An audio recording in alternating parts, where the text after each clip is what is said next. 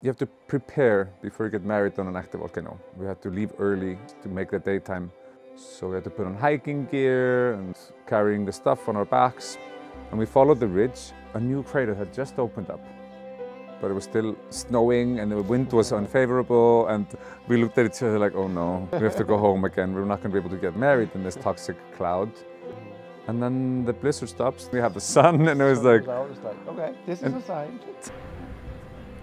Bara á fyrsta deiti, það var stallast í hjartanum mínu. Þú ert búinn að eiga það skuldlust síðan. Heitið þitt líka því að hlúa eldinum sem við eigum okkur á milli. Ég elska þig. It was the best day of my life.